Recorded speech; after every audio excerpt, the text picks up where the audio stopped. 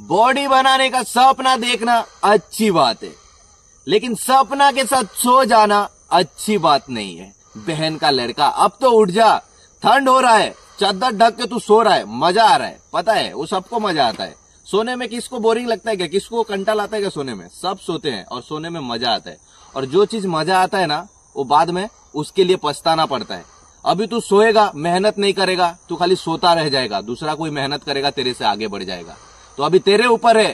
तेरे को आगे कुछ करना है या बिस्तर पे सोए सोए, खाली तेरा ज़िंदगी बर्बाद करना है। आपके पास बस दो ही ऑप्शन है मेरा भाई। आप या तो पूरा ऊपर बढ़ोगे या तो नीचे धन करके गिरोगे। मेहनत करो, ज़िंदगी बस एक ही बार मिला है। आपने जो ड्रीम देखा है, दूसरा कोई मेहनत करके उसको अचीव कर रहा है। आपने जो सपना सोचा है, वो दूसरा कोई उसको पूरा कर रहा है। आपने जो ड्रीम कार सोचा है, वो दूसरा कोई उसको खरीद रहा है। बट आप अभी भी बिस्तर पे सोए हुए हो। चद्दर के नीचे गर्माहट का महसूस ले रहे हो। तुमको मेहनत करना नहीं है। तुम खाली सोच रहे हो कि तुमको बॉडी बनाना है। तुमको ड्रीम में कुछ गोल अचीव करना है। बट उसके लिए कुछ भी मेहनत नहीं। तुमको क्या लग रहा है? कोई जादू होगा और ऑटोमेटिक पूरा खत्म और बूम करके तुम्हारा ड्रीम अचीव हो जाएगा। ऐसा नहीं होता। उसके लिए मेहनत करना पड़ता है।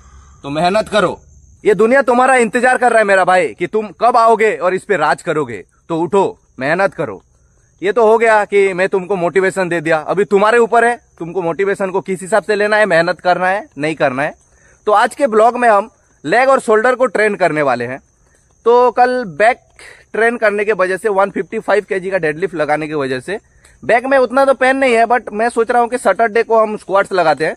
तो आज हैक स्क्वाट लगाएँगे और हैमस्ट्रिंग को थोड़ा सा ट्रेन करेंगे और काप को थोड़ा सा ट्रेन करेंगे, क्योंकि काप को ट्रेन नहीं कर पा रहे हैं मिस हो जा रहा है। और शोल्डर के लिए बस दो ही वर्कआउट रहेगा। एक रेयर डेल्ट को ट्रेन करेंगे और एक लेटरल राइज रहेगा या तो या तो फिर स्वर्ग को ट्रेन मतलब या तो फिर स्वर्ग लगाएँगे और आज का वर्कआउट खत्म करेंगे।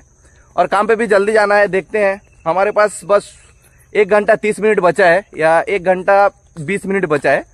उसमें देखते हैं कौन सा वर्कआउट परफॉर्म कर पाते हैं। बाकी, चलो मिलते हैं जिम पे जाकर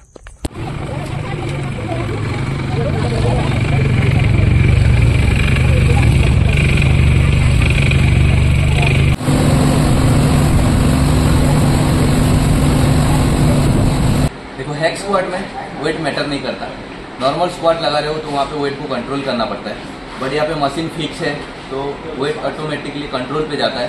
तो आराम से आप जो मसल पार्ट को ट्रेन करना चाहते हो ना लेग को वही ट्रेन करोगे। और उतना बैक पे भी लोड नहीं आता है।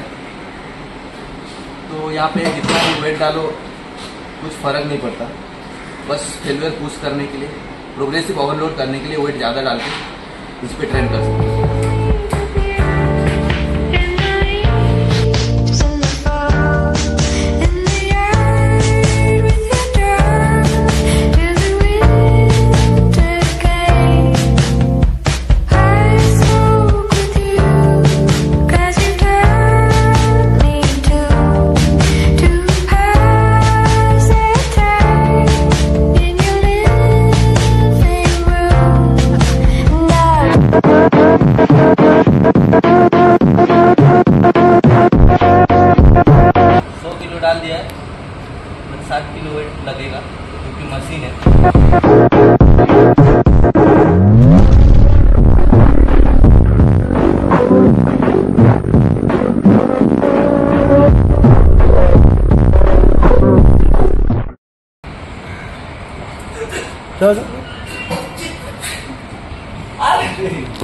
स्क्वाट चाहे कुछ भी लगाओ हैक स्क्वाट लगाओ या नॉर्मल वेटेड स्क्वाट लगाओ बारबेल स्क्वाट लगाओ, दोनों में टाइम बहुत खत्म होता है। तो अभी उतना टाइम बचा नहीं है कि लेग को अच्छे से ट्रेन कर पाए तो मज़ा नहीं आ रहा है। तो अभी लाइंग लेग कल का एक वर्कआउट सेट करेंगे और लेग का वर्कआउट दो ही पे खत्म होगा क्योंकि टाइम नहीं है और काम पे जल्दी बुलाया गया है। तो क्या करें, अभी टाइम नहीं है तो नेक्स्ट वीक देखते हैं। मतलब नेक्स्ट जब सेकेंड लेग डे आएगा तो उसमें अच्छे से ट्रेन करेंगे। तो अभी खाली लाइंग लेग कल करके लेग का वर्कआउट खत्म करते हैं फिर शोल्डर पे आते हैं।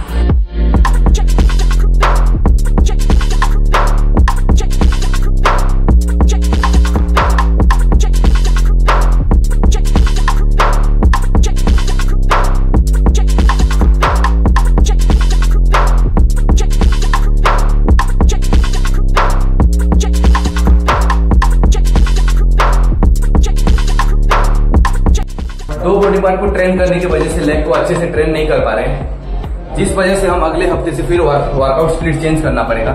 फोर डे वर्कआउट स्प्लिट करेंगे, जिसमें चेस्ट और शोल्डर रहेगा, फिर बैक सिंगल रहेगा, और आर्म्स के लिए एक दिन रहेगा और लेग्स के लिए एक दिन रहेगा। तो अभी क्या करें? आज भी टाइम नहीं मिला तो अगले हफ़्ते से वर्कआउट स्प्लिट ही चेंज करना पड़ेगा। और अभी शोल्डर को ट्रेन करेंगे रेयर डेल्ट वाइज ट्रेन करेंगे। और नेक्स्ट वीक में फ्रंट डेल्ट और लेटरल लाइफ पे ध्यान देंगे तो अभी बैक डेक रिवर्स स्लाइसिंग वर्कआउट करेंगे, ठीक है?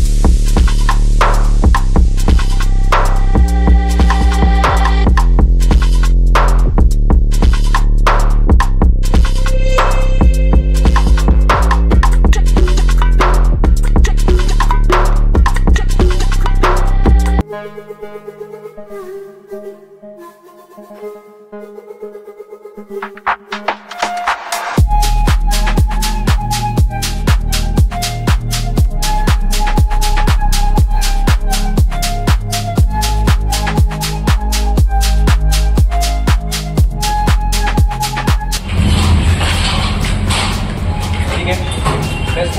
स्टैंडिंग पे लेते हैं बट स्टैंडिंग पे ले लोगे ना तो थोड़ा बैक पे लोड आता है। अगर ऐसा लोगे तो बैक का तो बैक नीचे टच रहेगा तो इजी से परफॉर्म कर पाओगे। झूठ बोल रहा है।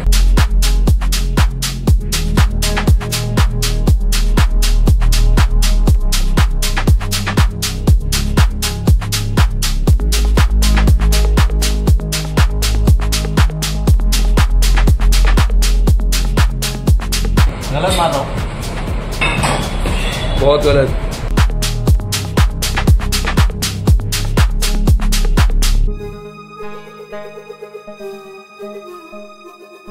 तब तक मारो जब तक जाने खुद